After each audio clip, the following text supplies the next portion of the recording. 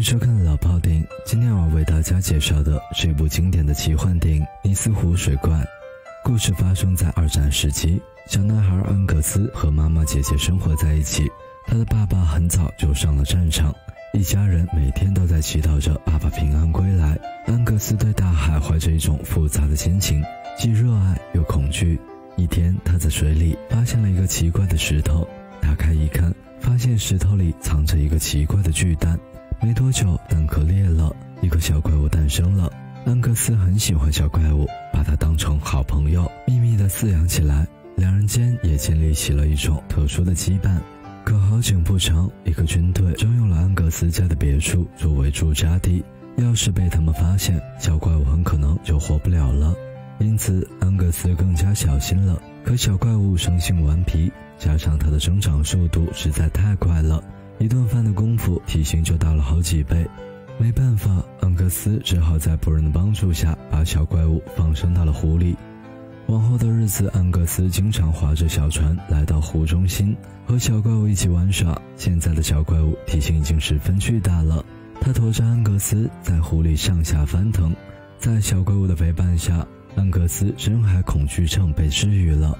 可世上没有不透风的墙。安格斯和小怪物玩耍的画面被一名士兵看见了。第二天，军队组织炮击演习，投弹的地点正好就是小怪物所在的那片湖泊。安格斯知道后，拼了命地阻止开炮，但由于人为严禁，最终还是没能成功。一个个炮弹在湖面炸响，这让生活在湖底的小怪物受到了不小的惊吓，他的性格也因此变得暴力起来。当晚，几个士兵乘着小船来到了湖面上，他们想着趁着白天炮弹的余威前来猎杀小怪物，但他们没想到，现在的小怪物已经长成恐龙般大小了，只是轻轻一撞就掀翻了士兵们的床。当小怪物打算打开杀戒时，安格斯赶来了，他着急慌忙地走入水中，劝说着小怪物不要杀人，可一不小心就溺水了。眼看着安格斯命悬一线。小怪物赶紧丢下士兵，将安格斯救了起来。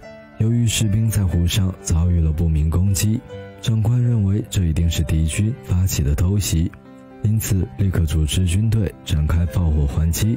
危难中，安格斯跳到了小怪物的身上，和他一起往大海的方向逃去。但军队早已在重要关口设置了铁丝网，为了小怪物的安全，安格斯只能和他道别。让他能毫无顾忌地纵身一跃，冲过铁网。最终，小怪物脱离了危险，向更深的大海处游去。安格斯的脸上露出了满足的微笑。很多年后，安格斯带着家人再次来到了湖边，他想再见小怪物一次，可等了很久，湖面都没有动静。就在他以为再也见不到小怪物的时候，远处的大海上跃起了一抹熟悉的身影，看起来是那么快乐，那么自由。小怪物看见安格斯后，发出了一阵长啸，那声音似乎在说：“别挂念，我很好。”这是一个简单的故事。小的时候，很多人都想要一个伙伴陪着自己成长，就像小新和小白、大雄和哆啦 A 梦，他们有着义无反顾和信任，和吵不散的依赖。开心的时候，他们能毫无保留地放声大笑；困难的时候，他们会毫不犹豫地伸出双手。长大后要想做到这样，实在太难了。因为大人的世界里有是非和得失，而孩子的世界里只有愿意和不愿意。我们向往美好，却在社会的一来一往中，渐渐地丢失了曾经的自己。以上就是这期老炮电影带给您的内容。